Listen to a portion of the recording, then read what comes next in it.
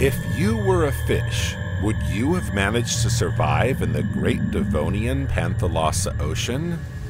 And if you were a terrestrial insect, what landscape would you have encountered during this period? Remember, we recently left Earth in the Silurian. At this point in our planet's history, there's a great paradox between what's happening in the oceans and on land. In the water, everything seems to grow and enrich. More and more ecosystems have sprung up in the four corners of the ocean. New species have made their grand entrance, while others have managed to diversify. But on the mainland, no life yet seems possible. But that's all about to change. Dear traveler, welcome. We're continuing our incredible exploration of the Earth's history, and today we're off to Devonian times, more than 416 million years ago, to the heart of the first land plants. But before you set off on your next adventure, don't forget to like the video and subscribe to the channel so you don't miss a thing. Thanks and have a great trip!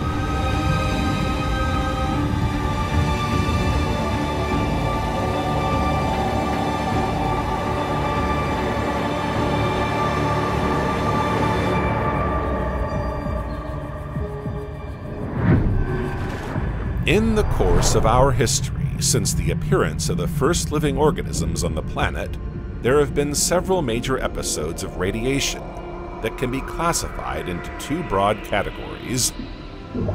Evolutionary radiation distinguishes the intense appearance of new species, particularly after an ecological crisis, leading to a major extinction. Our planet has already experienced five mass extinctions and other minor ones.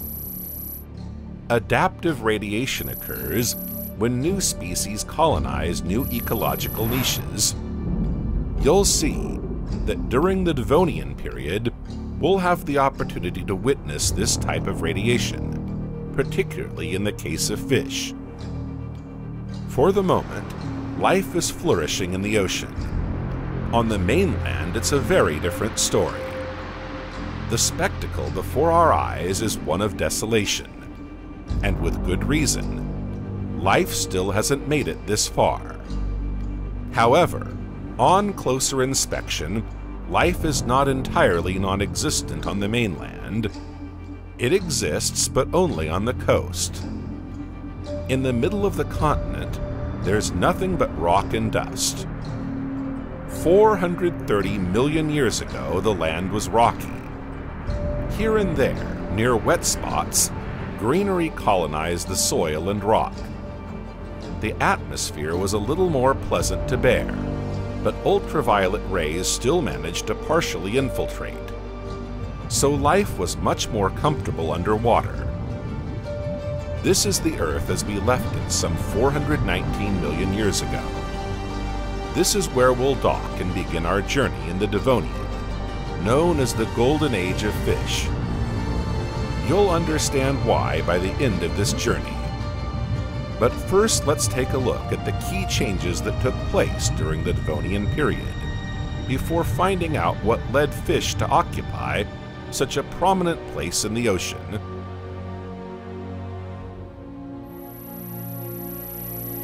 The Devonian period began around 419 million years ago and spanned 60 million years. It ended around 359 million years ago. This long Devonian period is subdivided into three subperiods Lower Devonian, Middle Devonian, and Upper Devonian. To be even more precise, these subsections have themselves been subdivided into smaller periods, in the Lower Devonian, we find the Lochkovian, then the Pragian and Emsian, in the Middle Devonian, the Eifelian and Givetian, and in the Upper Devonian, the Frasnian and Famennian. Roderick Murchison was the first to name this geological period. The Devonian takes its name from Devon, now in the United Kingdom. But as you'd expect, these present day territories didn't occupy the same spaces and positions a few hundred million years ago.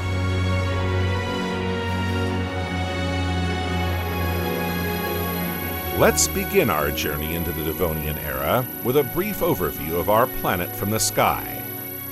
The map in front of you shows you the importance of the ocean on our planet. It covers a large part of the planet, this was already the case in Devonian times, when the Panthalassa Ocean covered a very large part of our planet. However, the layout of the continents and oceans was significantly different.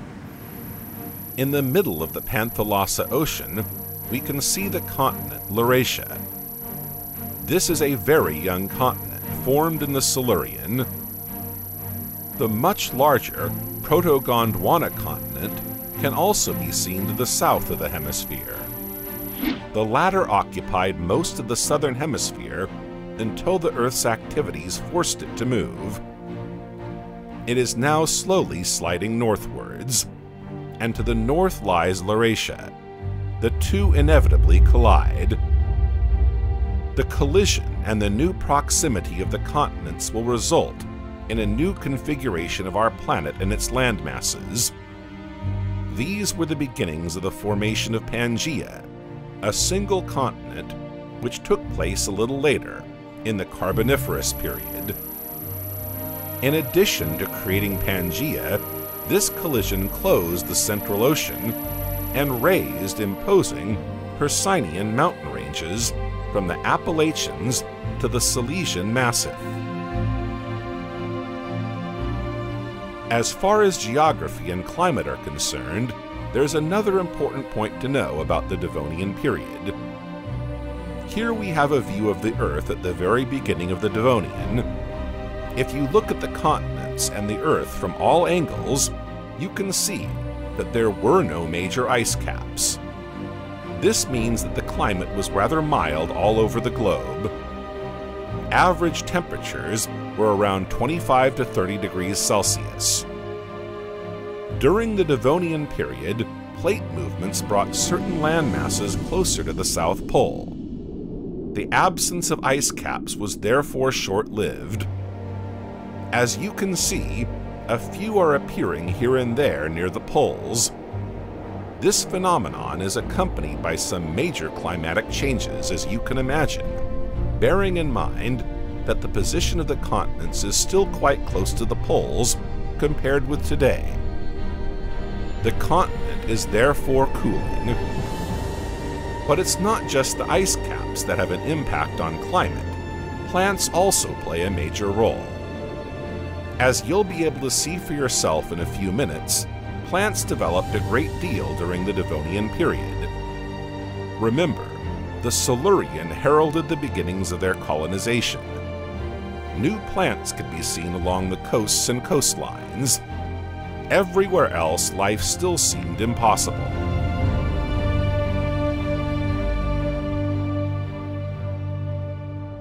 In the Middle Devonian, plants finally managed to reach deeper inland. A variety of plant species appeared on the continent, along with significant radiation. This expansion is a good thing for life on Earth, of course, but it is not without consequences for the climate. Plants absorb large quantities of CO2, from which they draw their energy. As CO2 levels fall, the air also cools. This is not a polar climate over the entire surface of the Earth. There is talk of a general cooling, but all things considered, temperatures remain mild and clement, a far cry from a global ice age. As nothing is ever immutable and fixed, in the Upper Devonian, temperatures this time rose by a few degrees. Once again, we'll have the opportunity during our trip to understand the origins of this phenomenon. For the moment, we'll be out at sea, in the middle of the Panthalassa, you've been able to witness the Earth's many changes in their entirety. But now it's time for you to immerse yourself and observe the impact of each of these events from the inside, at the very places where they were investigated, alongside the species that witnessed them. Millions of years ago, life hatched in the ocean, so it's a fitting way to honor it by choosing the blue immensity as the starting point for our journey. You'll see that many changes have taken place here.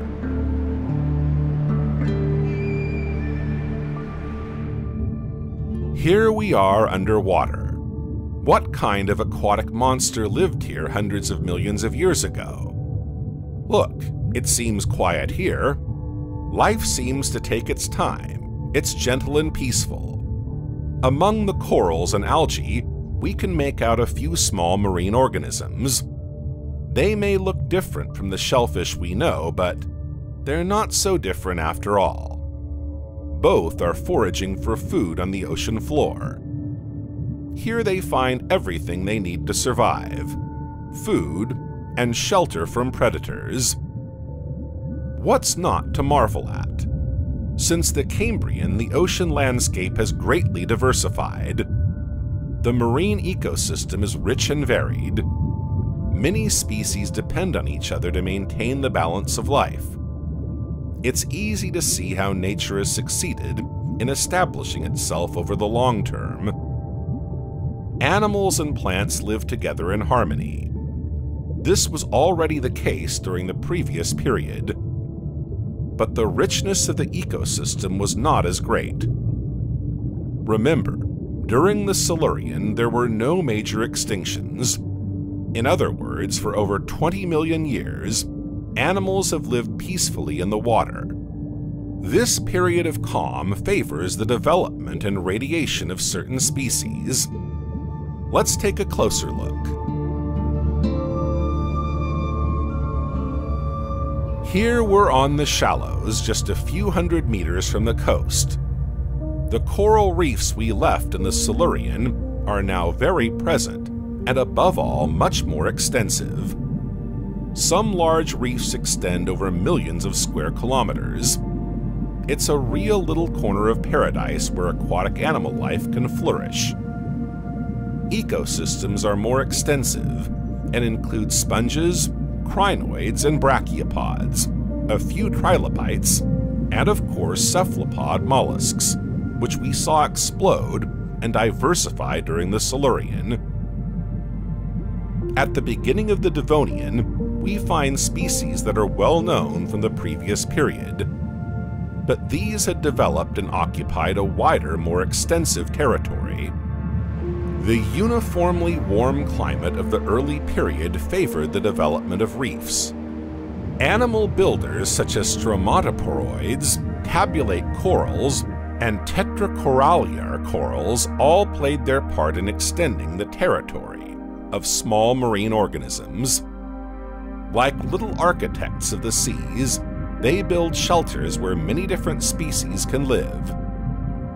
Despite their differences, they all have one thing in common their ecological niche. Even today, reefs play a fundamental role in the marine ecosystem they provide shelter and a constantly renewed food supply.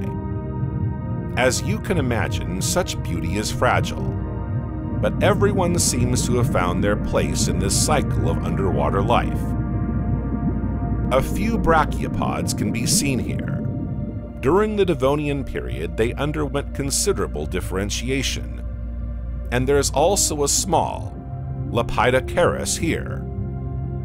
Lepidocaris is an arthropod of the branchiopod class, not to be confused with the brachiopods we've just seen. Brachiopods are animals with a bivalve shell. Branchiopods are a class of crustaceans. Today, this class includes shrimps and the order Anostraca, which is most closely related to Lepidocaris. Lepidocaris lived in the Lower Devonian. Their habitat also included Characeae, a family of freshwater green algae. Paleontologists have been able to study numerous fossils discovered in what are now known as the Rhynie Chert deposits. The richness of this deposit is exceptional. Many of the fossil specimens were in good condition, and some were complete enough to support hypotheses. The Rhynie chert contains exceptionally well-preserved plants, fungi, lichens, and animal matter, thanks in particular to the volcanic deposit. We'll have the opportunity to return to this fossiliferous deposit on other occasions. For now, let's take a closer look at the Lepidocaris. These are very small animals. The body is 3 millimeters long, but has 23 body segments and 19 pairs of appendages. They have no carapace. Lepidocaris is one of the earliest preserved freshwater crustaceans. In its day, it was undoubtedly one of the first links in the food chain of its ecosystem. As we continue our journey through these oceanic lands, we may be lucky enough to encounter another type of crustacean that holds a similar place in the ecosystem's food chain. Here it is Mysidacea. The mysid is another small crustacean, a pelagic crustacean of the Mysidae order. It too looks like a small shrimp, like a mysid. Its size is less than 3 centimeters or 1 inch. Adult females all have a brood pouch. This is why they are often nicknamed opossum shrimp. Larvae are reared in this pouch. As adults, mysids are omnivorous filter feeders, feeding on algae, debris, and zooplankton. That other little crustacean moving just in front of you is a Nahecaris stuertzi. The Nahecaris genus can take many forms, long and slender, short and robust, with a deep rounded carapace, or long and narrow. The carapace is usually fused to the head. The mandible resembles that of Ceratiocaris, while the maxillae resemble those of Leptostracans. It was a necto-benthic carnivore, meaning it swam and evolved on the seabed.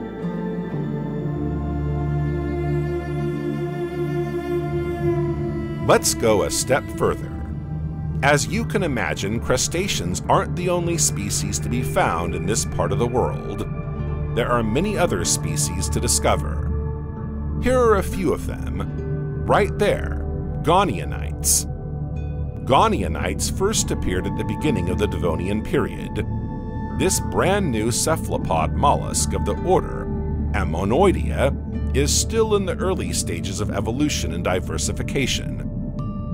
The golden age of these little animals was in the Carboniferous and lasted well into the Permian Nevertheless, their timid appearance at the beginning of the Devonian marked a new enrichment of the marine ecosystem and a diversification of its population. It would have been a shame to pass by without stopping. These are beautiful marine specimens. Like other animals of this type that we've come across on our travels, Goniatites are no exception to the rule. These mollusks have an attractive shell that protects their soft body. If this Goniatite will allow us, we'll take advantage of its presence to talk shells. This shell is made up of several chambers. Unlike other animals of this type, these chambers are separated in a zigzag pattern. The largest of these chambers is inhabited by the mollusk, while the others allow the animal to manage its movements and stability in the water. In fact, it can swim, so to speak, in the open sea. Not very well, I grant you, but it's an ability worth highlighting all the same. The Goniatite also has two well-developed eyes and tentacles. Tentacles are one of the criteria defining the order of cephalopods. These invertebrate animals have eight arms equipped with suction cups. These arms enable the Goniatite to feed. But what kind of food? The mystery remains. Scientists have been able to study a few specimens of these Goniatites, but unfortunately time is against us, and very few fossils are sufficiently preserved to detect stomach residues. These residues are, however, precious clues and essential evidence for the development of genuine hypotheses. However, while we don't really know what he ate, we do know what he didn't eat. The Goniatite lacks a calcified jaw comparable to that of ammonites, another member of the Ammonoidea group. The absence of a calcified jaw suggests that it could not have fed on shellfish or hard-shelled animals. A few fossils of these animals can still be found in southeastern Morocco. It's already time to leave this young cephalopod to discover a new oceanic zone and explore other marine regions. On our way, right in front of you, are pelagic graptolites. They were still present at the beginning of the Devonian, but were unable to adapt beyond this period and disappeared. A few benthic graptolites managed to survive for a few more million years, as some fossils dating back to the Carboniferous period have been studied.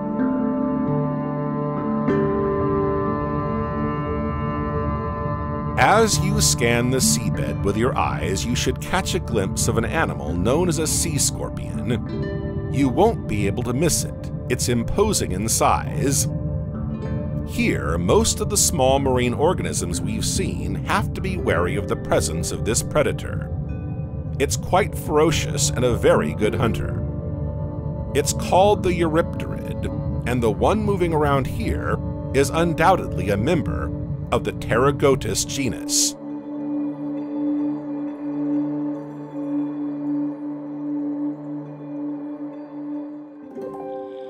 It's one of the largest known to date, but also one of the largest arthropods of all time, alongside the giant centipede Arthropleura. It was a carnivore, feeding in particular on Brontoscorpio and Cephalaspis. Eurypterids were formidable predators because they were perfectly equipped to become the greatest marine hunters of their time. Many marine animals with tails can only move them horizontally. In sea scorpions, the tail was vertically inflexible, but horizontally mobile. Sea scorpions could therefore bend their tails and propel themselves towards their targets, according to the researchers. They attacked and killed their prey with lateral attacks using their toothed tails. This was revealed by the study of a fossilized specimen, Slimonia acuminata. Eurypterids have been numerous and highly diversified over the millennia. But this great diversification will not be enough to preserve this species from what lies ahead the arrival of a new kind of predator will upset the habits and ecological niche of the Eurypterid, an environment in which this scorpion has been king until now. In fact, it was the alpha predator. In other words, it was at the very top of the chain and feared nothing and nobody. Not surprisingly, given his many hunting skills, but the golden age of the Eurypterid was the Silurian, the Devonian is the age of the fish. Soon it too will learn to hide. How does it feel to be hunted by the enemy? How does one manage to fight for survival every minute, every moment without exhausting oneself? Fear was an unfamiliar feeling to him. But he will have to tame this feeling and learn to protect himself, act strategically, know how to camouflage himself, and react quickly in the event of danger if he is to survive.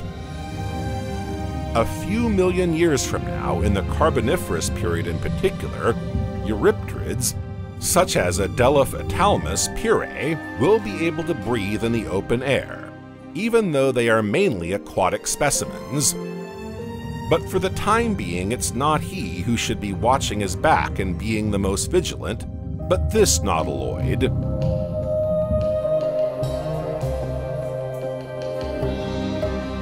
Let's take advantage of this encounter to learn more about this species. Nautiloids are tetrabranchial animals, i.e., they have four gills and their body is entirely protected by a shell. Nautiloids were scavengers and opportunistic predators, with a powerful beak that enabled them to eat crustaceans and shellfish, for example. This beak is called rhyncholite. During the Ordovician period, Orthoceras were top predators at the top of the food chain, but like Eurypterids in the Devonian, the hunter became the prey of new predators. During the Silurian, Pismoceras developed a somewhat unusual morphology. The coil is not entirely planispiral. This gave rise to the nautiloids orthocones and critocones, with long elongated or self-curling forms.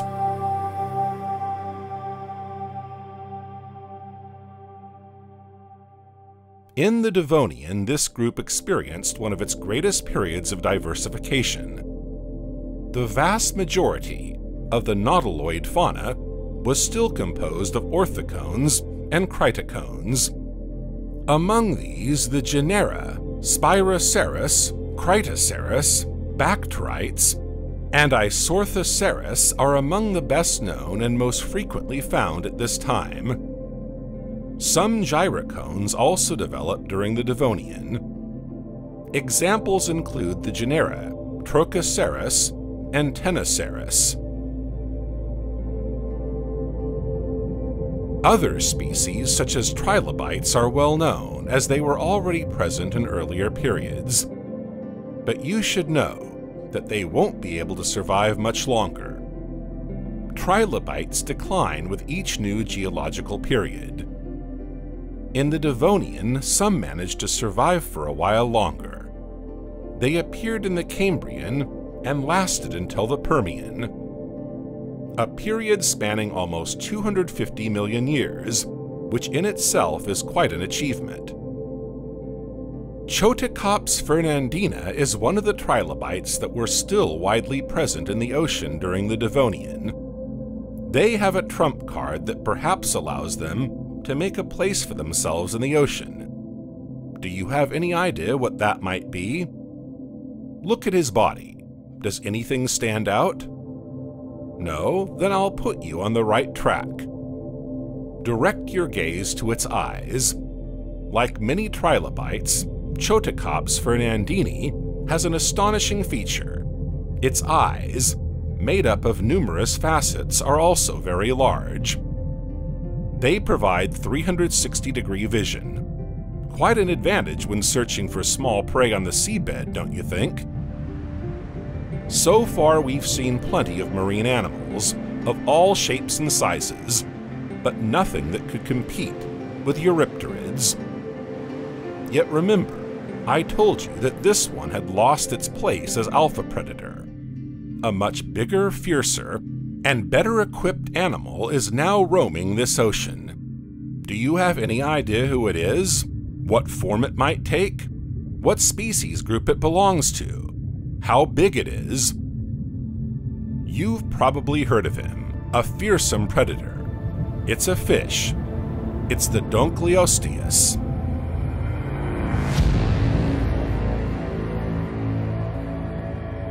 Dunkleosteus is an extinct genus of large placoderms that lived during the Upper Devonian.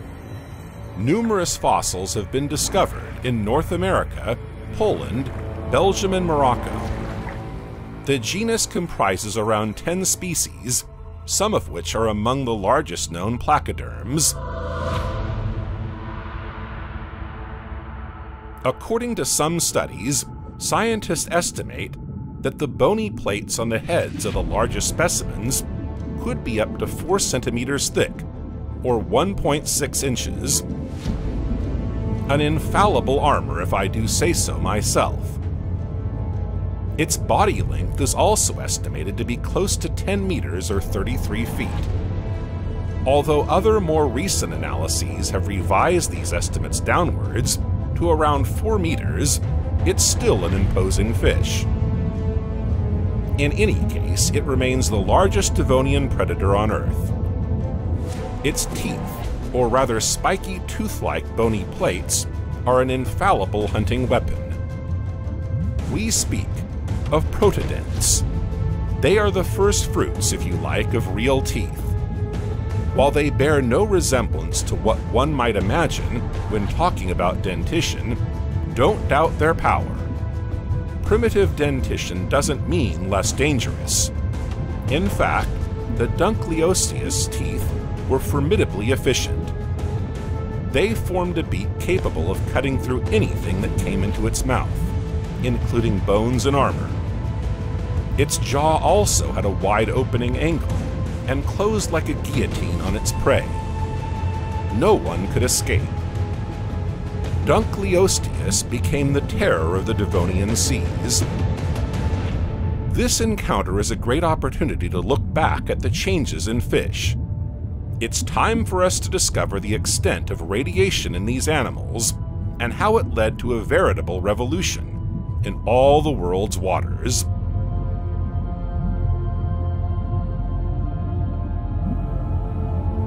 Whether at sea or on land, in fish, arthropods, or plants, there will be a Devonian before and a Devonian after.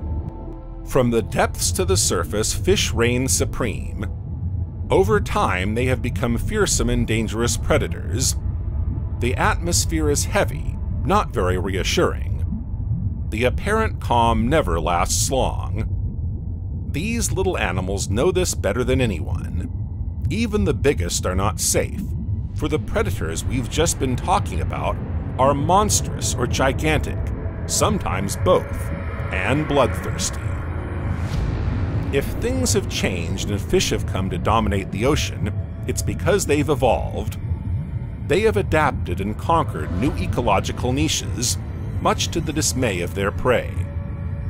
This wasn't the case before. Fish used to live on the seabed and feed on the ground, these are what we call benthic fish. To better understand the new fish issue, you need to know that there are several zones in the ocean. We differentiate between them because what characterizes them clearly separates one from the other. In fact, they each constitute a distinct ecological niche. In the ocean, for example, we distinguish between the pelagic zone, the benthic zone, and the photic zone. The photic zone, or epipelagic zone, is the region of the ocean that rests on the continental shelf. It extends from the surface to a depth of 200 meters, or 660 feet. The word epipelagic comes from the Greek words epi, meaning at the surface, and pelagic, meaning of the sea. This zone is also called the photic zone because it is here that the sun's rays can penetrate the water sufficiently for photosynthesis to take place. The maximum depth for this zone in clear open ocean waters is 200 meters or 660 feet. Beyond this depth, the zone is referred to as pelagic. This is the upper part of the water column i.e., the zone between the bottom and the surface of the water. It lies just below the photic zone. Depending on the stage, depth, and characteristics of the latter, different pelagic zones are defined. Mesopelagic, bathypelagic, abyssopelagic, and finally the hadal zone, which corresponds to the oceanic trenches. The benthic zone corresponds to the seabed. At different levels and depths, animals take advantage of the seabed. On the continental slope, the continental glacis, the shelf, or the abyssal plain. Up until now, the vast majority of fish, particularly ostracoderms, have occupied almost exclusively the benthic zone, i.e., the seabed. So far, we've been dealing with benthic fish that feed by scraping the seabed in search of food. As well as being perfect prey for eurypterids, the famous sea scorpions, these fish live in a very specific part of the ocean. But that's about to change. these fish will no longer occupy only the benthic zone, but will conquer the pelagic zone higher up and take full advantage of this freshly acquired water column. The Great Radiation of Fish is one of the most important upheavals of the Devonian period. The morphology of this animal group underwent numerous changes, these changes were already taking place at the very end of the Silurian, if you remember correctly. But it was in the Devonian that everything really began for these species. It's only during this pivotal period that we can truly appreciate the benefits of these evolutions. Ostracoderms, which were very present in the Silurian, are now increasingly giving way to placoderm fish in the Devonian, the latter are seeking to establish themselves in the marine world. Although placoderms are quite different from their ostracodian cousins, they have nevertheless preserved some of their main characteristics, notably their famous external armor. But they are also now equipped with jaws, as you may have gathered from your discovery of Dunkleosteus. There are two main groups Firstly, jawless fish, known as agnathans, and secondly, jawed fish, known as gnathostomes. If the arrival of jaws in fish is such a revolution, it's because it changes not only the way they eat, but also where they live. These are no longer the benthic fish of the shallows, but jawed fish that are moving upwards, they leave the benthic zone to colonize the pelagic zone of the ocean.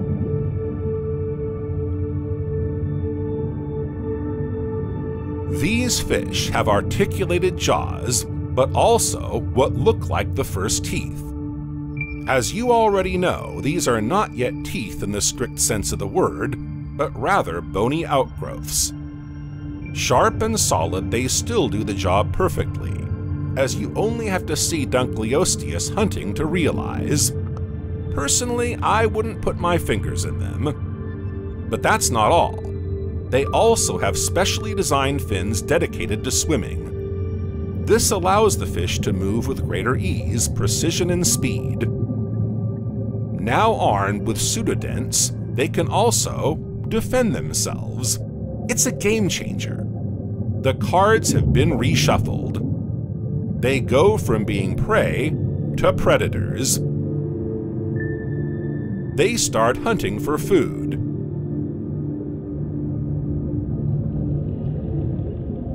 Dunkleosteus took full advantage of their new position in the ocean throughout the Devonian period, as you've just seen. But as you can imagine, it's far from the only one.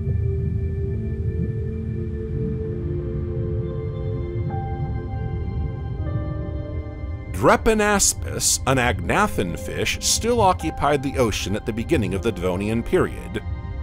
By studying this species, you'll see the marked difference between agnathans and gnathostomes. Unlike the other, heterostracans they resemble, Drepanaspis does not have its mouth facing downwards but towards the water. Yet it remains a burrowing animal, a benthic fish in short. Like many of its relatives, this agnathan has an armored body that protects it from many predators. It's a rather distinctive species of fish, easily identifiable by its flattened shape and heavily armored body. Its appearance is similar to that of today's stingrays, since it also has small, widely spaced eyes. In addition to not having a jaw, the great characteristic of this type of fish is that it has no internal skeleton, but a carapace made of bony plates and very robust scales. Despite this apparent strength, like other members of his group, he won't make it to the next geological period.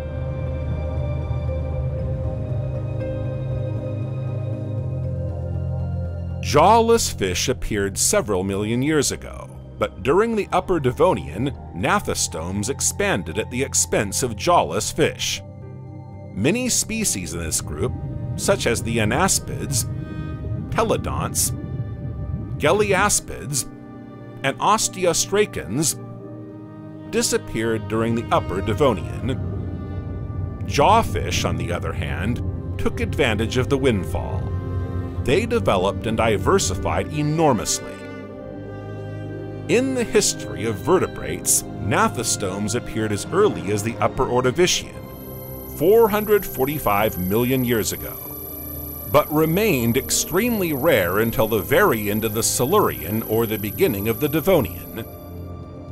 Around 420 to 410 million years ago, they show a remarkable evolutionary radiation, with the emergence of placoderms, chondrichthyans, and osteichthyans. Jawed fish form a very large group called gnathostomes. The latter gave rise to the cartilaginous fishes, like sharks, known as chondrichthyans. These later gave rise to sharks, but also to rays such as the magnificent manta ray, renowned for its size and singular beauty.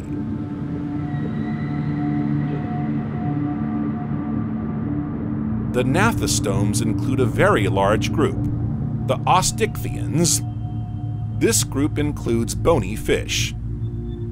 Then come the actinopterygians and sarcopterygians.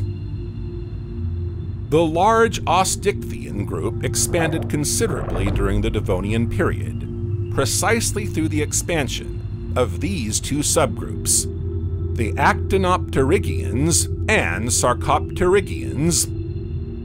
In the first, the actinopterygians, you can see much more developed fins. These are the fishes with rayed fins, in other words, with bones. This means greater speed and ease of movement in the water.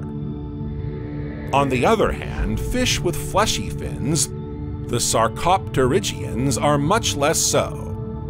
This isn't a bad thing, however, since it's undoubtedly what gave rise to the Crossopterygians, a group that later gave rise to the tetrapods. As a reminder, tetrapods are vertebrate animals whose skeletons usually comprise two pairs of locomotor limbs and a neck, and whose breathing is normally pulmonary. Dinosaurs are descended from them, just like us humans, but let's return to the Devonian and our two emerging fish groups. It's the appearance of the Actinopterygians and Sarcopterygians that interests us here. Osteichthyan fish, i.e. bony fish, with rayed or fleshy fins. After them, we'll come back to the Chondrichthyans, a new group that appeared in the Devonian period. The Actinopterygian, osteichthyans, or ray-finned fish are rather talented fish in the open sea. Meet Cheirolepis. Do you notice that it's more at ease in the water than the agnathan fish we saw? This Cheirolepis seems better adapted to swimming faster, longer, and optimizing its trajectories. Reaching lengths of up to 50 centimeters, Cheirolepis display a range of physical characteristics that will make Actinopterygians so successful. There are, of course, the ray fins that give the group its name, but there are also large eye sockets that suggest good eyesight, a very useful hunting skill.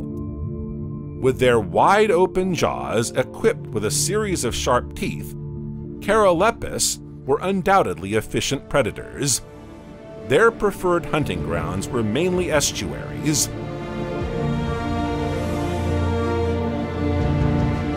If you look at its body, you'll already have noticed that it was strong and slender, perfectly designed for fast, sustained swimming. In other words, add to that its keen eyesight, and you have a strong case for predation. However, just because it is a predator doesn't mean it can't also be prey. To find out more about the lifestyle of extinct animals, scientists have a number of methods and tools at their disposal. In particular, they study coprolites. These are fragments of hardened, calcified fecal matter that take on the appearance of small stones, in other words, fossilized excrement. In these excrement, scientists are sometimes able to detect traces of their meals and therefore of their probable diet. Cheirolepis scales have been found in coprolites. This means that Cheirolepis were in a position to prey. They also sometimes devoured each other, as shown by a Cheirolepis fossil with one of its smaller relatives in its abdomen competition must have been fierce in the Cheirolepis family. Only the strongest, fastest, and most strategic survived. So the life of this predator is not a smooth one. Nevertheless, Cheirolepis's modus operandi is a revolution in the world of fish. The study of its skull bones revealed that the great amplitude with which it could open its mouth must have enabled it to swallow prey up to two-thirds its own length.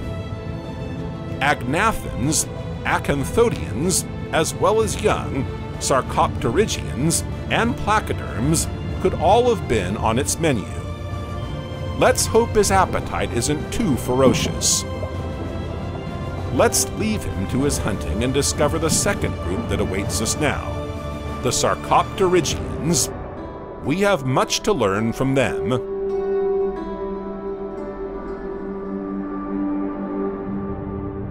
Sarcopterygians are also Osteichthyans, but the main difference between them and Actinopterygians is in their fins, which are flesh-finned rather than ray-finned.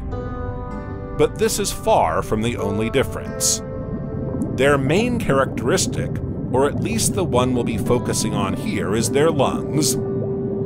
Yes, they were the first fish to be equipped with gills, but that's not all. They're also able to breathe a small gulp of pure air at the surface.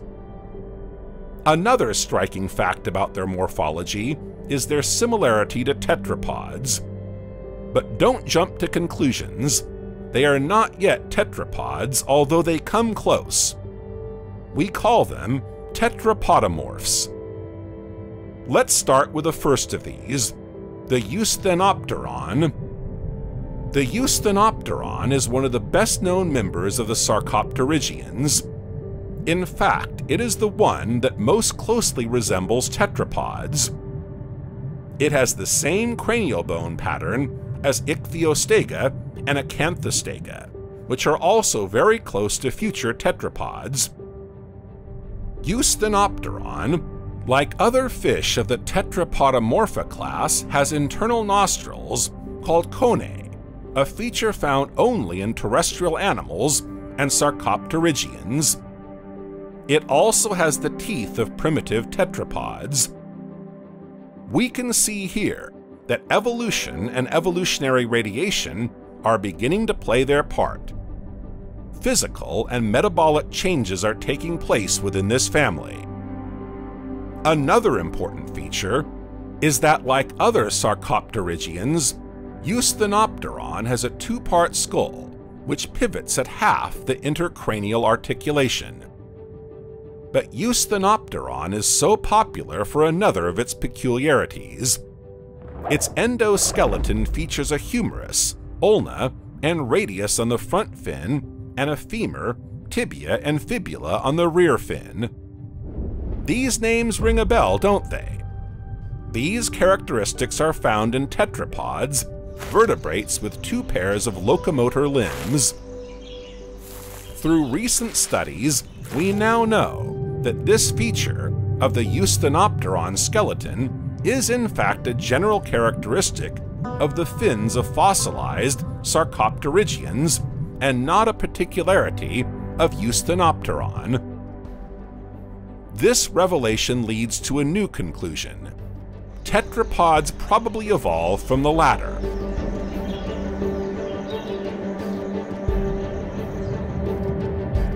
But another point remains to be clarified. Why did Osteichthyans evolve into Sarcopterygians fish with such a skeleton and primitive lungs? If we've managed to understand the impact of teeth on fish, leading to the conquest of new marine territories, we now need to understand why some of them adopted new adaptations to life on land. During the Devonian, hot and dry seasons were very harsh, causing major complications for many aquatic species. When lake levels dropped, fish found themselves with little oxygen and probably died of anoxia before the area dried out completely. This situation exerted a selective pressure that only fish, like the Eusthenopteron, were prepared to withstand. Eusthenopteron can move episodically on land, as it has rudimentary lungs. Tetrapodomorph fish have benefited from a number of adaptations that enhance their ability to get out of the water even if we are still in the early stages of a possible terrestrial life. This is the case of Eusthenopteron, but also of Panderichthys rhombolepis, Tiktaalik, Acanthostega, and Ichthyostega. Let's go and meet some of them to better understand this transition from an aquatic to a terrestrial world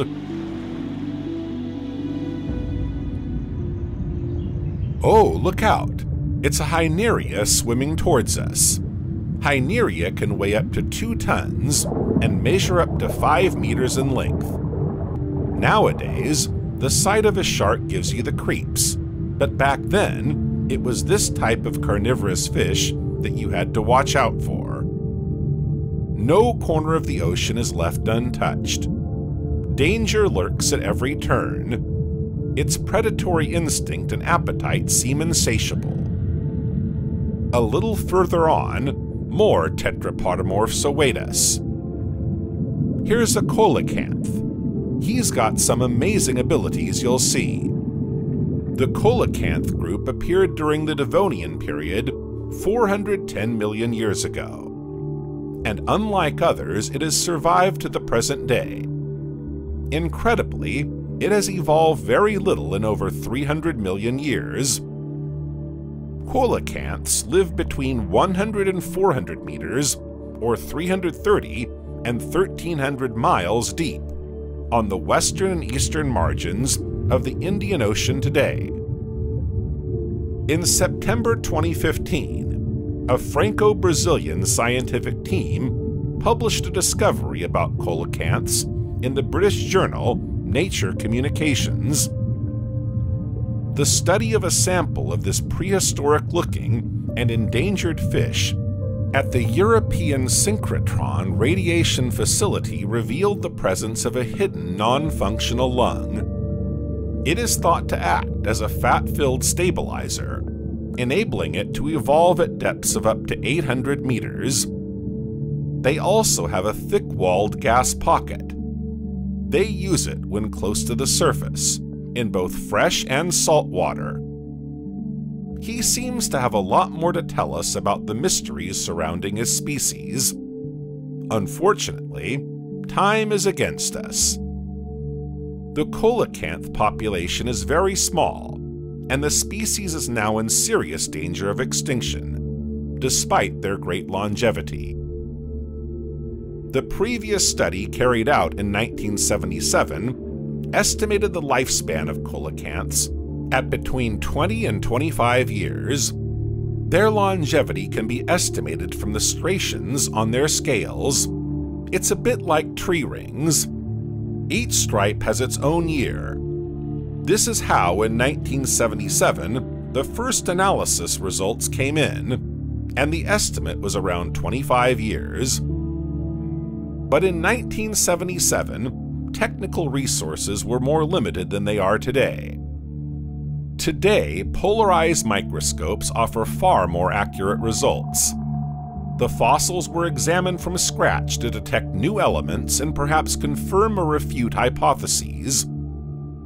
Scientists now believe that coelacanths can live for up to a hundred years. This would also explain their long gestation period. This is a rare occurrence, and probably one of the longest among marine animals. How long do you think it could last? In humpback whales, gestation lasts 11 months. In killer whales, between 15 and 18 months. In coelacanths, on the other hand, it lasts almost five years.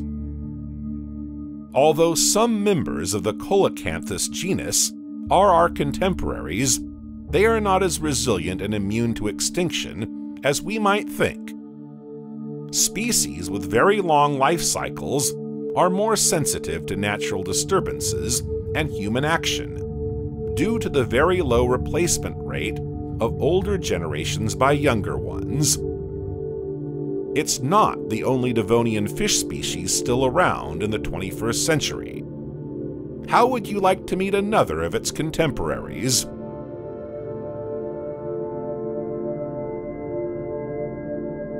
We're talking about the Dipnoestes. They too are rather peculiar aquatic animals, endowed with extraordinary abilities. Their name means double breathing, because in addition to gills, all dipnoi have one or more functional lungs for air breathing. Like other members of the Sarcopterygians, lungfish have primitive lungs, they also have all the characteristics of tetrapods. These include an elongated pectoral fin with numerous mesomeres, rostral tubules, posterior ramifications in the posterior dorsal fins, and an infraorbital sensory canal, following the premaxillary suture. Lungfish live in slow-moving stagnant waters with dense vegetation, they have primitive lungs, which are very useful depending on the season. Like the previous fish, when drought sets in, they are ready to survive. During periods of drought, oxygen can be scarce in the waters of their various habitats. Their lungs and pseudo-locomotion are therefore an extra chance for them to get through this delicate season. This is true of today's lungfish, but we can imagine that today's lungfish still share many features with those of yesterday. So they too would be able to surface regularly, once or twice an hour to breathe air. But it's not these characteristics, however interesting they may be to observe, that I'd like to share with you here. Some contemporary specimens are quite surprising, and still amaze scientists and fish lovers alike. In summer, Neo Neoceratodotus forsteri, the Australian lungfish, insists. In other words, it digs a burrow in the mud, out of the water, at the start of the dry season. And that's not all. It also secretes a mucus that encloses it in a cocoon, where it can remain for several years if the drought persists. Such survival skills are nothing short of extraordinary. The very essence of a fish is to be an aquatic animal in its own right.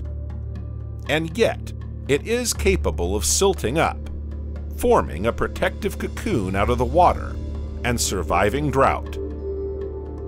What's more, according to recent discoveries, the cocoon is a living tissue with antimicrobial properties. In other words, the cocoon could be defined as an external immune system.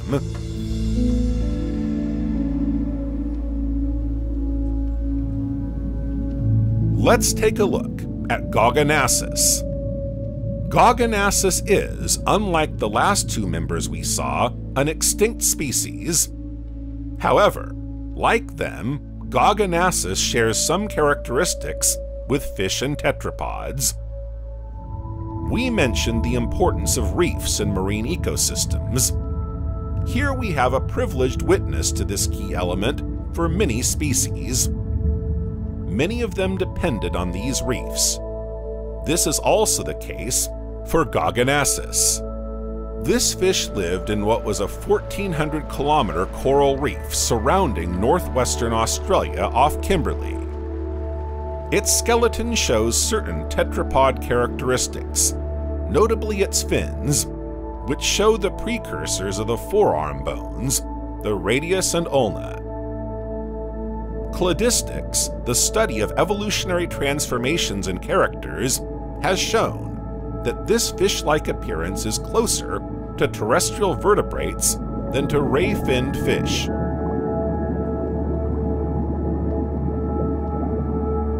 And not far from Gogonasus is another Sarcopterygian, Dipterus. Dipterus is a medium-sized fish, about 35 centimeters or 14 inches. It bears some resemblance to the modern Australian lungfish we met earlier. It, too, has no swim bladder or gas bladder. Yet this bladder plays a vital role in many fish.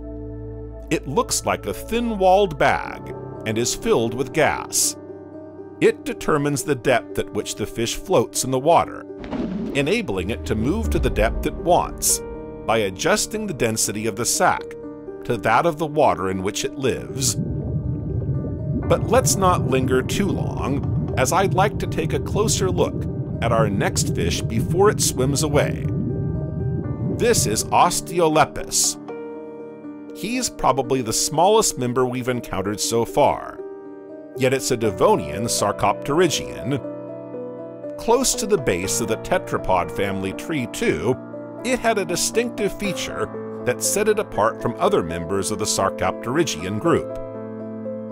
It measured around 20 centimeters or 8 inches, and was covered with large square scales.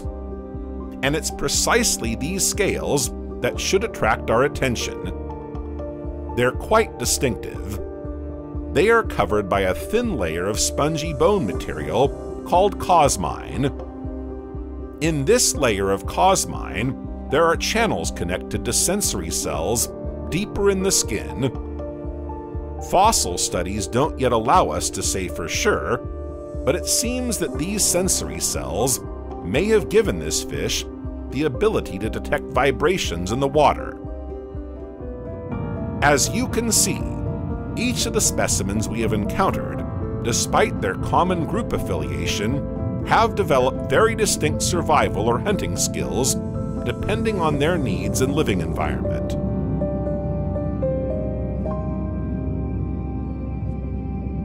Let's take a look at Panderichthys. Panderichthys has a skull externally similar to that of a tetrapod, but the cranium has retained the intracranial articulation.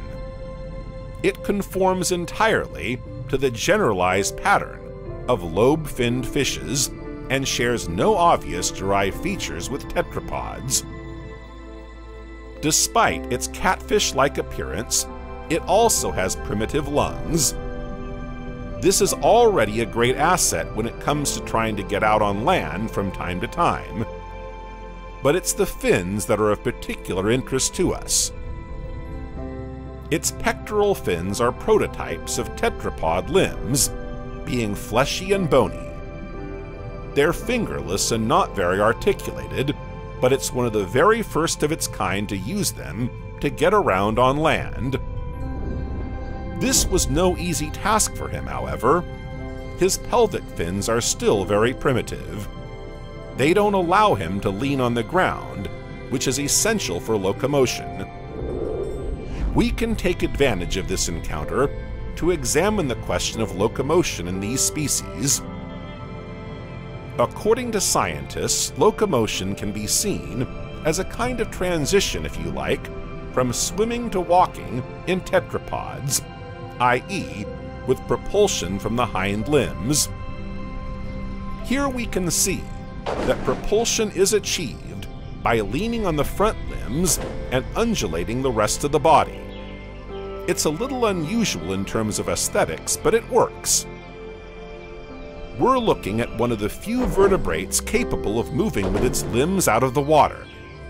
It's a small step for this Sarcopterygian but a big one for the tetrapods to come.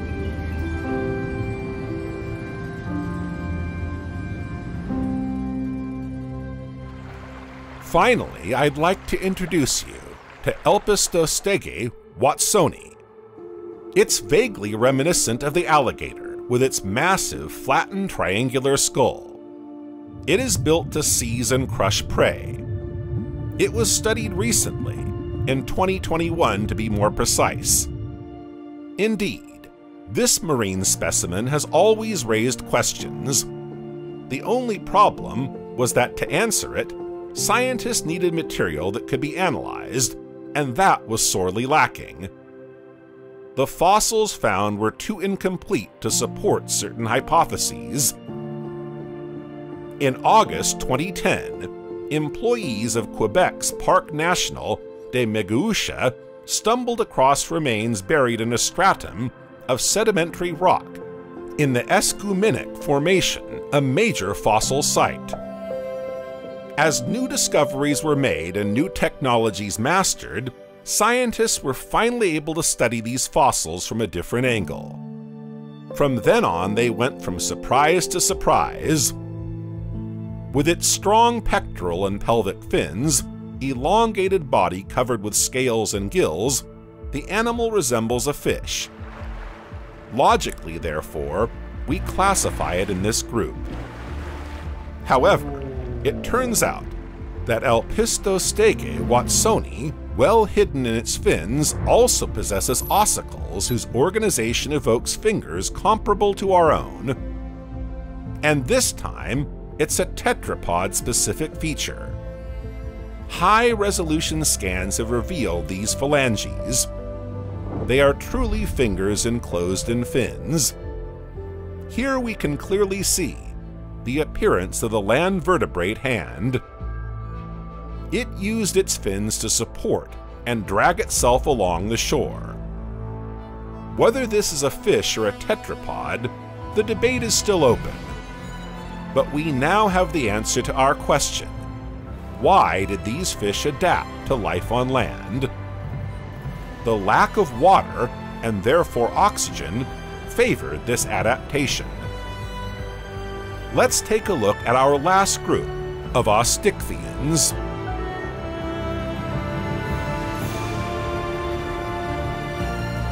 Chondrichthyans are a new Devonian group, also descended from Osteichthyan fish.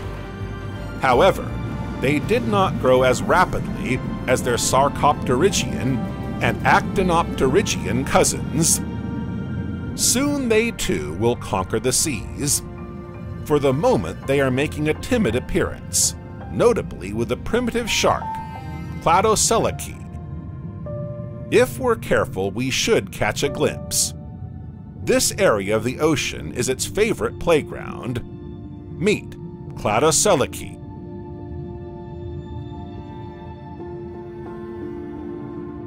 Cladoselache is a type of shark, in fact the very first of its kind, with five to seven gills and excellent fins, it appeared towards the end of the Devonian period. Contrary to popular belief, although it is a very good predator, it is not at the top of the food chain like some sharks we know today. Measuring between 60 and 180 centimeters, or between 24 and 70 inches long, it's an imposing fish. Despite appearances, it feeds only on crustaceans. But it is also the prey of a much bigger and more powerful fish at this time, the large placoderm Dunkleosteus. Powerful though it may be, it is no match for a Dunkleosteus of this size. The oceans and rivers of the Devonian period are home to some amazing creatures, you've seen for yourself how extraordinary their radiation is. They've not only expanded greatly, but also diversified. You also understand why the Devonian is referred to as the Golden Age of Fish. We could all do with a breath of oxygen after these long minutes underwater how about going up to the surface for a bit to see what's going on? A lot has changed on land, too. Let's take a step up to admire this new facet of the continental landscape. We can clearly see the expansion of the territory of the Cladoxylopsids, in particular, with the strong presence of Wattieza, but also of Lycopod herbaceous plants.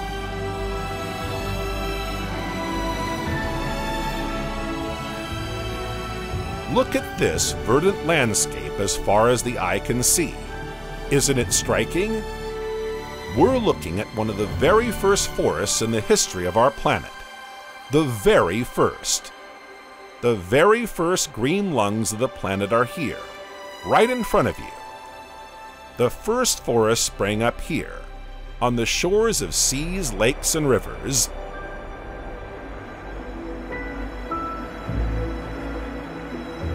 Just a few million years ago, vegetation was limited to herbaceous cover. Plants grew to no more than 10 centimeters or 4 inches at most. And yet look, right in front of you, that tree is probably 8 meters or 26 feet tall. Other plants will come to occupy the different levels of the forest. Soon, after the herbaceous plants, the shrubs, and even the arborescent plants will occupy the space, rising ever higher towards the sky. This development and increase in height took place in the Devonian period. But if you don't mind, let's stay with a Silurian for a few more minutes before moving on to the Devonian we're interested in. You're about to witness the explosion of plant life on Earth.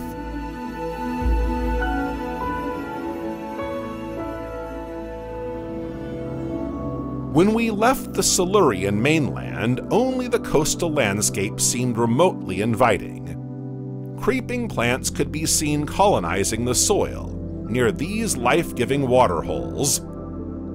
And it was here, right here, that it all began. And here we are, at the dawn of the very first terrestrial forest.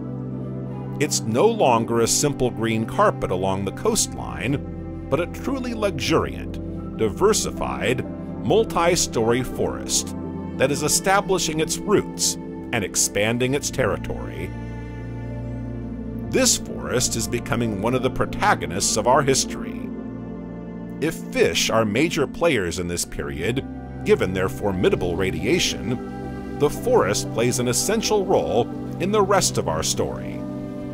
Without them, life on Earth would never have been possible plants use photosynthesis to grow. While they absorb large quantities of carbon dioxide, they also release oxygen. They enrich the air that animals will soon be able to breathe in at the top of their lungs. The forest, like the reefs in the sea, becomes an essential part of the whole new ecosystem. An ecosystem where nature abounds and there's no shortage of shelter. A rich, abundant ecosystem where life can settle down and grow serenely. Let's take a closer look at these famous Devonian plants that have reshuffled the cards of life on Earth.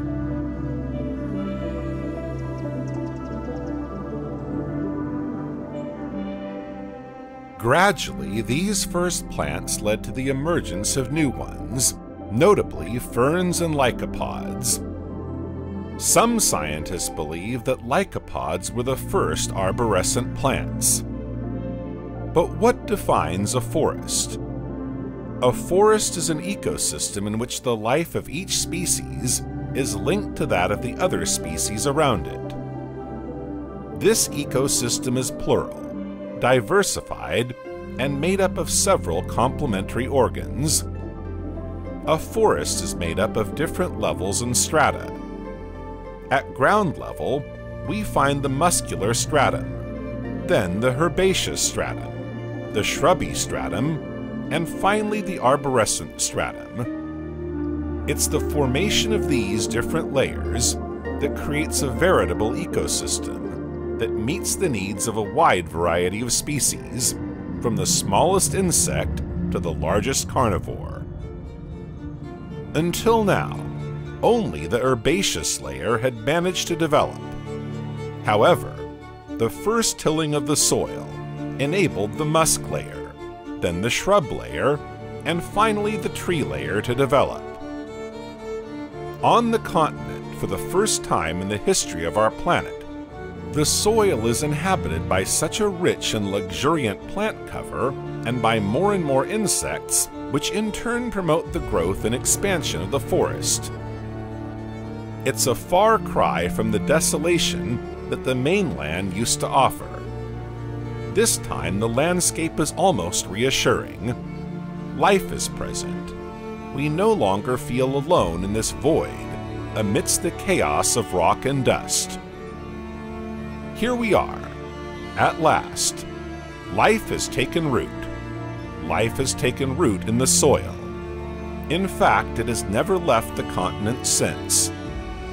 Of course, life has its ups and downs, but it's here, ready and willing to do anything to adapt and survive. How did the Earth manage to turn such a beautiful deep green? How did vegetation conquer the land? It took time, and above all, the right conditions.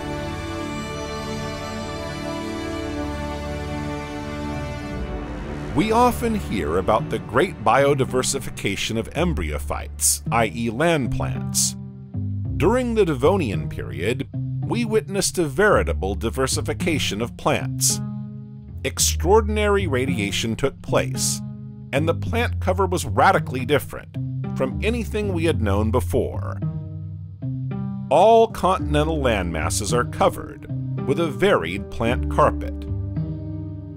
Phyllocophytes develop extensively and occupy a median stage. Plant cover is no longer simply at ground level, but gains in height. Arboreal plants also appear, this time occupying an even higher level. Of course, at first, this great explosion of plant diversification and radiation operates mainly near coasts, rivers, and bodies of water. There are two reasons why plants need this element close at hand. Firstly, it's an essential nutrient, just like solar radiation or carbon for creating glucose. Plants consume water, but it also needs a humid environment for reproduction. These plants reproduce by spores, as spermatophyte plants have not yet appeared. When we think of plant reproduction, we first think of flowers and seeds. However, plants without flowers or seeds, such as mosses, lichens, and our famous ferns, can colonize a wide variety of soils without any of this. Reproduction of the vast majority of these plants is made possible by spores. Spores are cells produced inside sporangia that enable reproduction and thus the birth of new plants.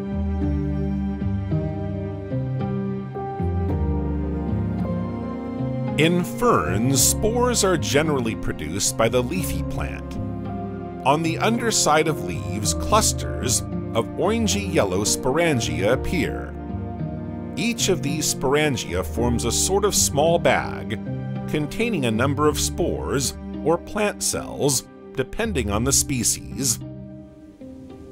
These spores, microscopic and very light, can be dispersed mainly by the wind.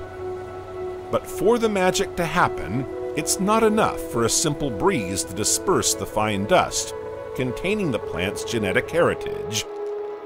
These spores must be able to germinate and give birth to a new plant.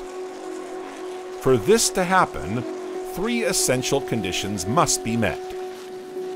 The first concerns the climate. The temperature must be just right, neither too hot nor too cold, Otherwise, germination will not take place. Secondly, there must be sufficient humidity. This explains why these plants are more likely to colonize land near bodies of water, which are of course wetter, and therefore more conducive to germination. Finally, for the plant to develop, it must of course find the nutrients it needs. The quality of the soil water and sunshine will have a positive and beneficial impact on its growth. For the moment, the most important thing to remember is the importance of humidity in the reproduction of spore plants and their great expansion during the Devonian period.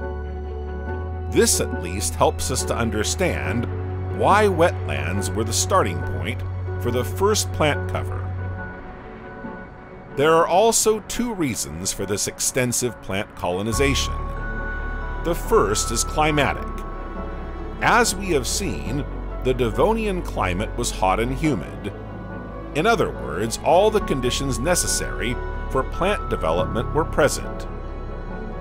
The second reason has more to do with the food chain. While plants have invaded this new terrestrial space fairly rapidly, animals have not yet done so.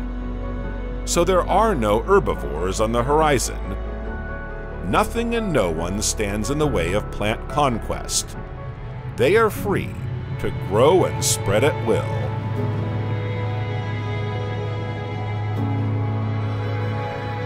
Many spore-forming plants developed during this period.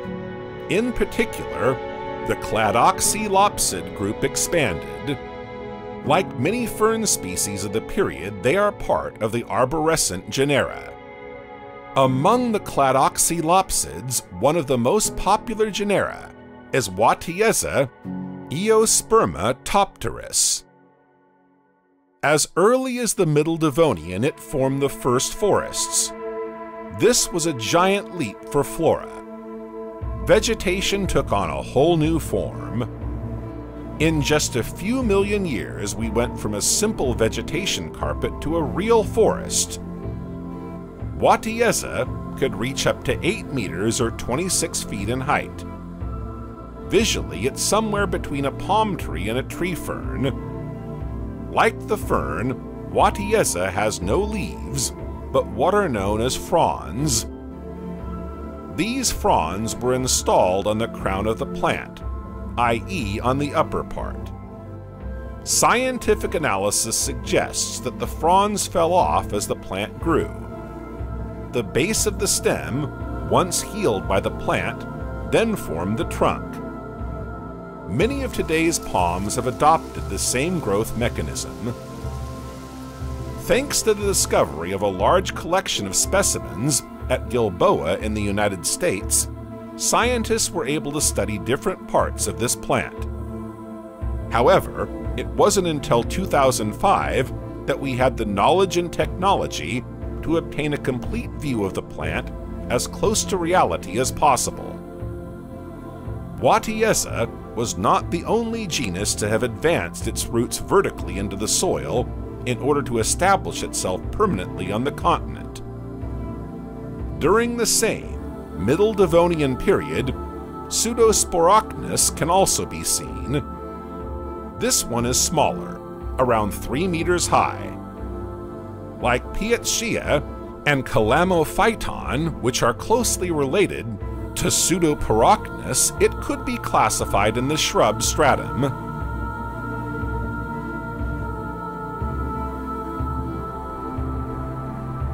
Arboreal plants, and therefore at first sight trees, don't necessarily mean wood. This vegetation is still in its infancy. The trunks are initially quite fragile. Bad weather or parasites could be fatal for these plants. In addition to the expansion of the plants and the appearance of the different forest strata, there was another important change in the vegetation particularly among the plants in the arborescent stratum. This is the appearance of the cambium.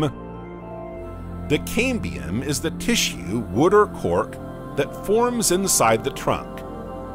It not only conducts raw sap from the roots to the leaves, but also provides the plant with better support and a firmer hold.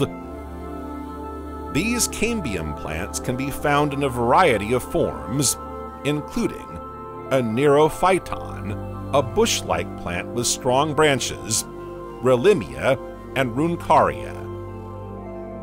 It's time for us to get a little closer to this first forest and discover it from the inside.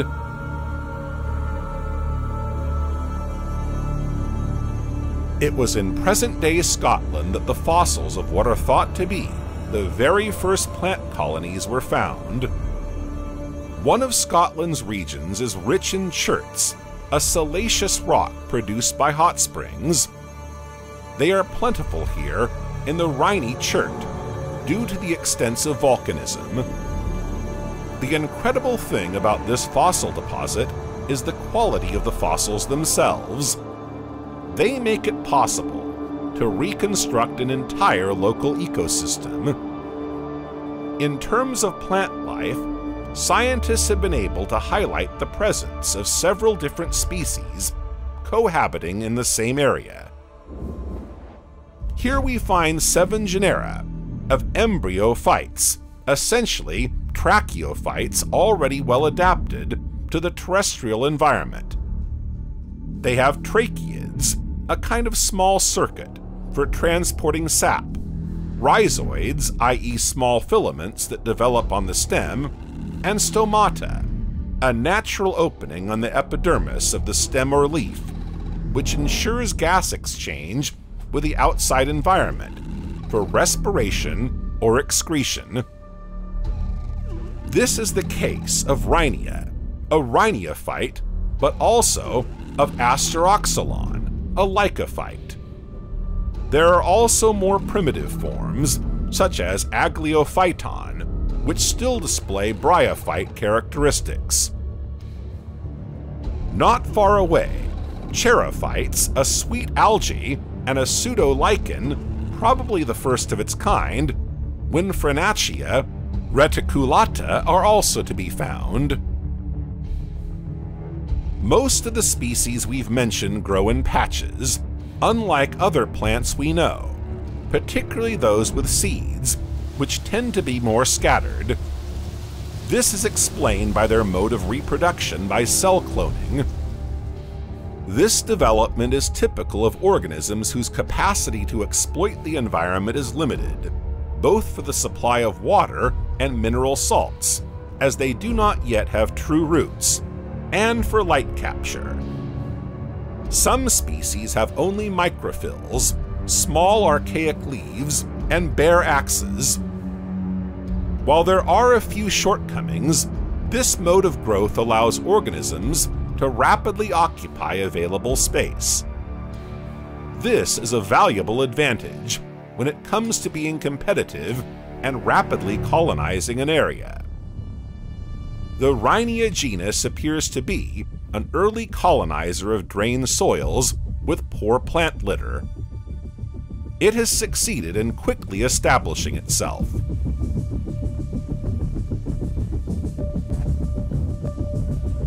Asteroxylon is a vascular plant also widely found in the Devonian period.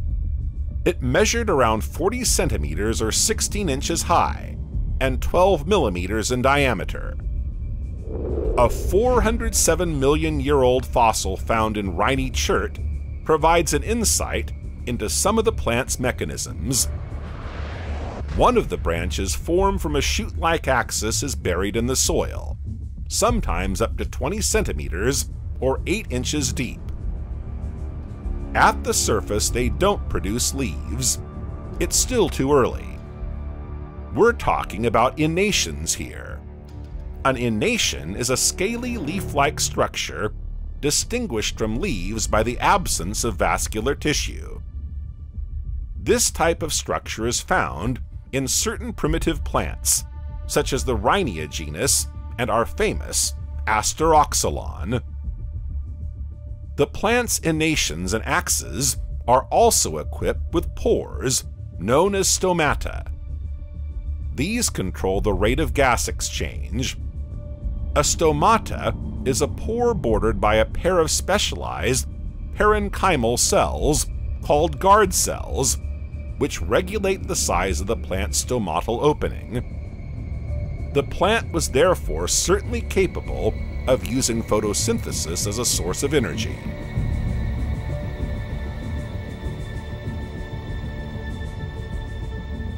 One of the emblems of the Devonian period is the Archaeopteris. It belongs to the fossil group Progymnosperms and is considered by many scientists to be the first modern tree. It resembles a fern, with a trunk similar to that of a conifer, and can reach 40 meters or 130 feet in height. Be careful not to confuse Archaeopteris, arguably the world's oldest tree, with Archaeopteryx, the world's oldest bird. Archaeopteris means ancient slingshot. The Devonian represents the very first plant colonization of the Earth's soil. But this colonization pitted different species against each other. A race for space, but also a race for light, was waged. The anatomy of their trunks makes them true trees, with Archaeopteris, the wood becomes both a support and a conductive tissue, a combination particularly well suited to seeking light at height. Because of its distinctive trunk, scientists consider it to be the first known modern tree. According to Brigitte Meyer, Berthaud, paleobotanist at the University of Montpellier, it captured a maximum amount of light thanks to its long horizontal branches, bearing leaves with remarkable photosynthetic organs. In its uppermost part, our Archaeopteris, the origin of the first forests, had very special cells, so-called meristematic cells. A meristem is a tissue of undifferentiated embryonic-type plant cells capable of dividing by mitosis an indefinite number of times and multiplying rapidly.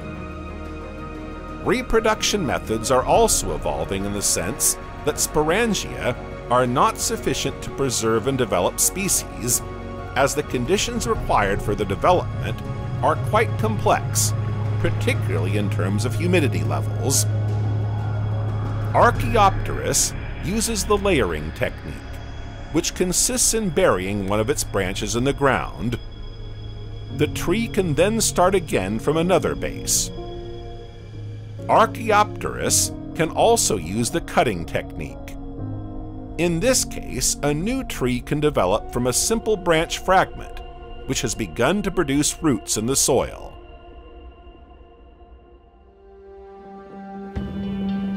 Insects have inherited the exoskeleton, articulated limbs and compound eyes of their arthropod ancestors.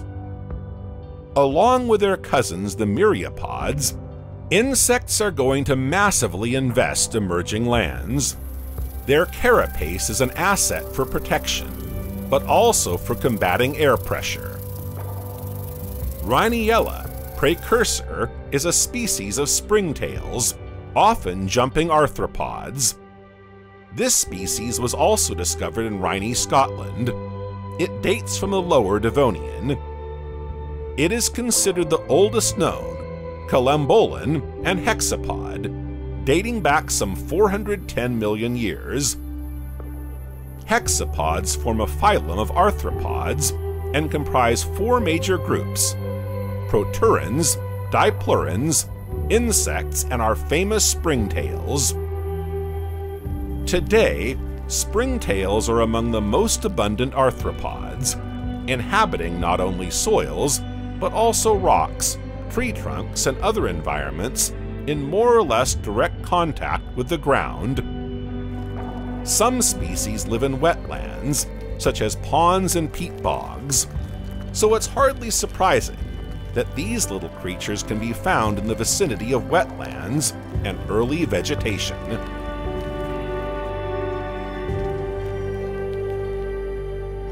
Palaeocharinidae, an extinct and fossilized family of arachnids belonging to the equally extinct and fossilized order Trigonotarbida, could also be seen in the region. These were our first terrestrial spiders. Here we have a specimen of Gilboarachne. A little further on we see another, Palaeocharinidae, Attercopus, it belongs to the order Uraraneida. At this stage of evolution, spiders and scorpions are still quite similar. The latter resemble spiders capable of producing silk, but do not yet have true spinnerets. They also retain a segmented abdomen, bearing a flagellum-like tail, reminiscent of a whip scorpion. Based on fossil studies, scientists believe that this species is ultimately very close to the origin of spiders.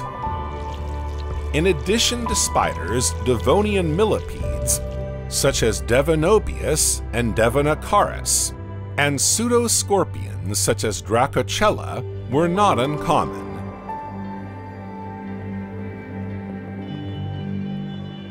Insects play a key role in maintaining the balance of an ecosystem. They play a major role in soil fertility by decomposing dead leaves or disseminating fungal spores. It's their meticulous work in the soil that contributes to plant development and the emergence of new species.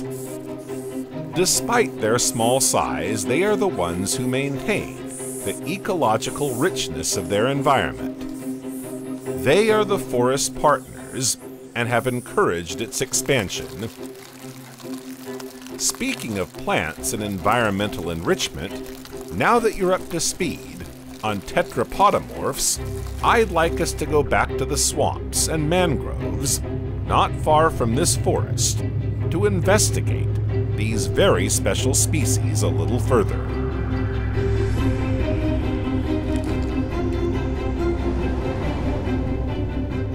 We saw earlier why tetrapodomorphs have newly acquired lungs. This feature enables them to survive when water and oxygen are in short supply. But it would be interesting to take our investigations a step further and also understand the changes in their skeletal structure and locomotion. Vegetation has had a strong impact on life, and incredible as it may seem, it has also played a major role in aquatic life, even if this is not its basic natural environment. While it's true that plants settle on land, in the vicinity of rivers and mangroves, it's also true that these plants don't just settle on dry land. Their roots are also entangled in water, from which they draw some of their resources. This tangle of roots and young plant shoots, dead leaves, and other plant debris, this vegetal hodgepodge is an ideal shelter for certain species of fish that fear marine predators. Here, well hidden among all this vegetation, they can camouflage themselves. Such shelter is a godsend for these species when we remember how dangerous fish, armed with teeth, and a far more advanced swimming ability can be. What's more, there's no shortage of food in the soil. Organic plant waste, for example, provides an abundant food source for filter feeding fish. On the other hand, getting around in such conditions is no mean feat. Their fins are of no use here. To make their way, they have to get in hold on, pull themselves up. Legs would be much more efficient. It's then that evolution takes over, after several hundred thousand years, of course, to compensate for these animals' difficulties of movement and meet their needs. They swap their useless fins for pseudo patterns, much better adapted to the fish's playground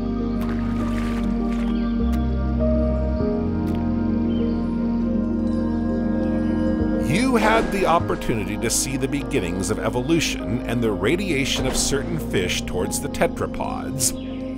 They adopted characteristics specific to fish, but also to future tetrapods. They were called tetrapodomorphs. You'll see here that some of them, still tetrapodomorphs, are even closer to tetrapods, in fact, some of them are considered by scientists to be the first true tetrapods to have ever lived on Earth. The Tiktaalik species was discovered rather late, in 2004 in Canada.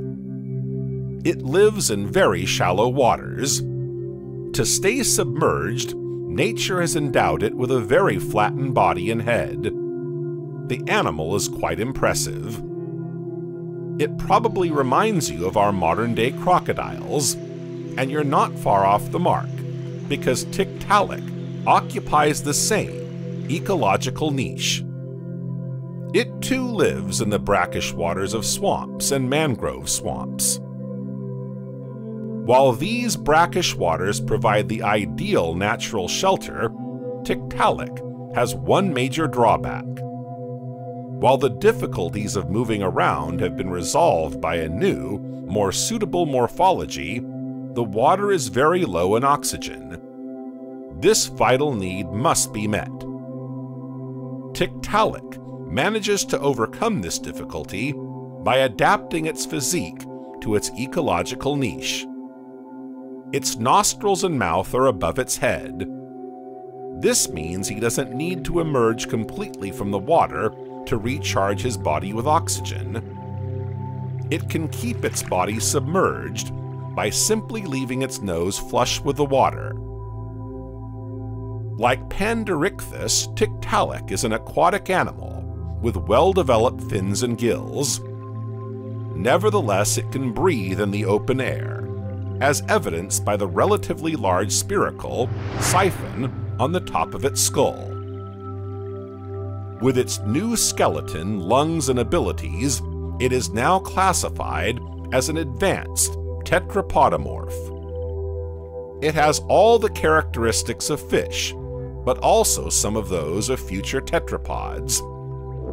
It's an intermediate species between these two classes, a sort of subtle blend of the two, which makes it easier to understand subsequent radiations and to follow the evolutionary path of its descendants. It's not the only one, of course. We've seen other fish with similar characteristics, but it's much closer to the tetrapods. His evolution is more accomplished, so to speak, and his aptitudes more advanced. Tiktaalik has the extraordinary ability to breathe, both in water and on land, very few species have this ability. What's more, thanks to its distinctive flippers, it can also move on the surface. Of course, moving from one pond to another would require some energy. He had to crawl or wriggle, but with a little effort he could do it. Now he can conquer new environments and expand his territory.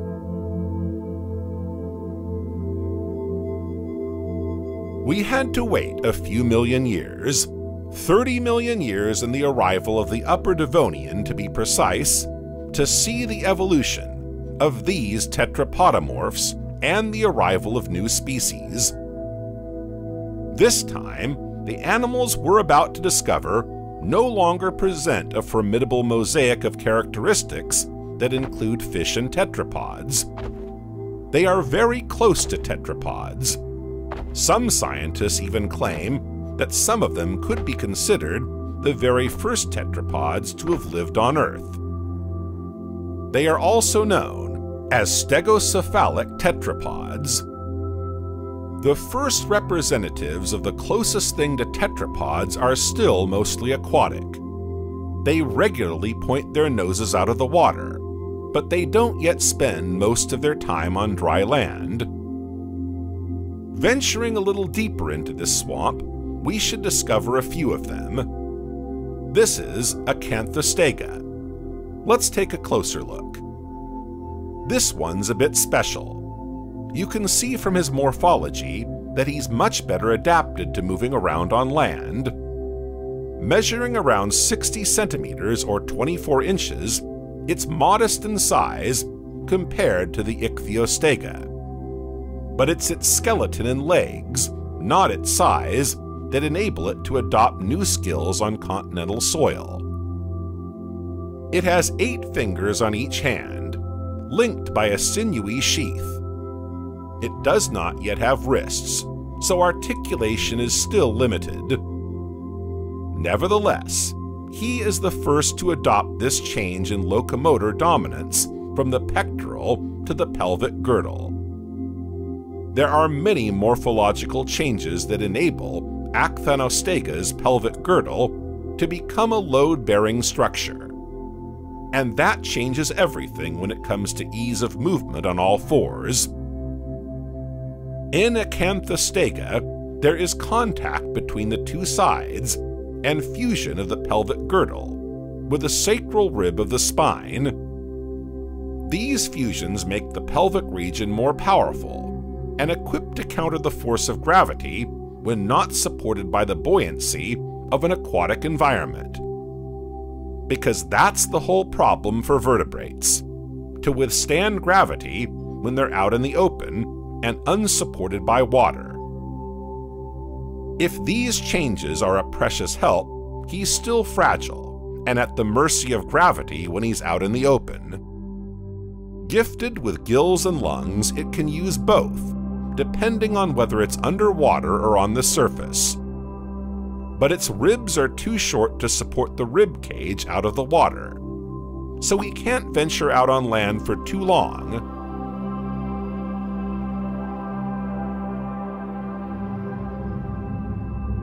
Ichthyostega's characteristics provide a link between the evolution of marine vertebrates and exclusively terrestrial vertebrates. Despite its ideal profile for life on land, it is still very much in the water. Ichthyostega, a stegocephalic tetrapod, is undoubtedly one of the oldest four-limbed vertebrates in the history of our planet. These limbs were used to navigate, so to speak, waterways. It used its body and tail for locomotion, and its fins for steering. Ichthyostega is not very fond of the marine world, preferring the shallow waters of rivers, mangroves, and swamps. Ichthyostega is nearly 1.5 meters or 5 feet long. That's quite a specimen, when you consider that it moves in very shallow water. The skull is flattened, with eyes on top and large teeth in the jaws, so you can easily guess its diet. Although the term tetrapod is commonly used to classify this animal, and it's even considered one of the very first tetrapods, using the term tetrapodomorph wouldn't be entirely wrong. Despite the presence of fingers, indeed it has seven on each hind limb, some scientists consider it to be more of a basal group, i.e. a sister group, rather than a tetrapod in its own right. Its caudal fin contains rays, similar to those of fish. Although it has lungs, it also uses its gills as its main means of evacuating carbon dioxide, However, unlike other similar contemporary specimens of Ichthyostega, such as Eusthenopteron or Panderichthys, which are quite similar in morphology, Ichthyostega remains a far more evolved tetrapodomorph. For example, Ichthyostega's vertebrae and ribs are stronger and more developed than those of Acanthostega, which we have just observed it is therefore better able to withstand life out of the water and adapt more easily to movement on land.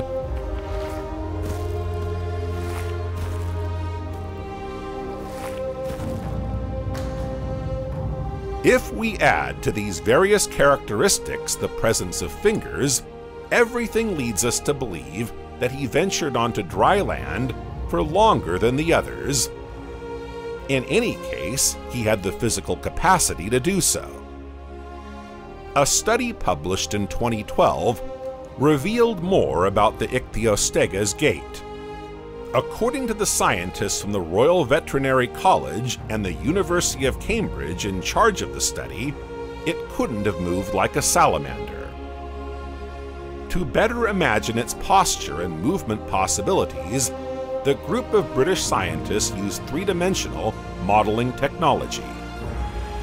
Thanks to this life-size, highly realistic model, they were able to determine the range of movement of the animal's limb joints. And these were not consistent with walking on all fours, even in the manner of a salamander. According to them, it couldn't lift its body and move its limbs in a coordinated walking pattern like a salamander. Instead, it had to move using only its front limbs. We could compare the Ichthyostega to some extent with pinnipeds, at least in its gait.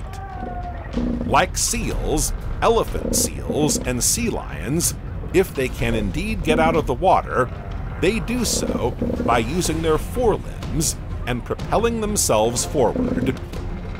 If they do venture onto land, they don't live there most of the time, as this kind of locomotion is energy intensive, but they do get there on a regular basis. In other words, it's easier for them to get around in the water than on land, and to be a good predator, they need to be sufficiently lively and skillful in their environment. They hunt in the water, but make the most of dry land whenever they can.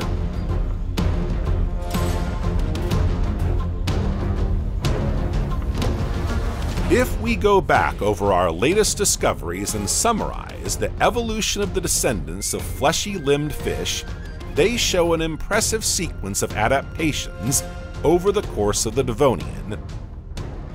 Our study of the various fish and tetrapodomorphs we've come across show that Panderichthys adapted to muddy shallows. Tiktaalik, with its limb-like fins, can travel on land, and the prototetrapods, or tetrapodomorphs, are able to move through weed-filled swamps, like Acanthostega, with its eight-toed feet. Finally, Ichthyostega with full limbs gains in ease of movement and adapts better to slightly longer overland passages. However, we'll have to wait for the arrival of a new era, the Carboniferous, to follow their evolution closely. With the coming mass extinction at the very end of the Devonian, we'll certainly have many new species to discover radiations to understand, and new landscapes to admire. But that's another story, another journey through time.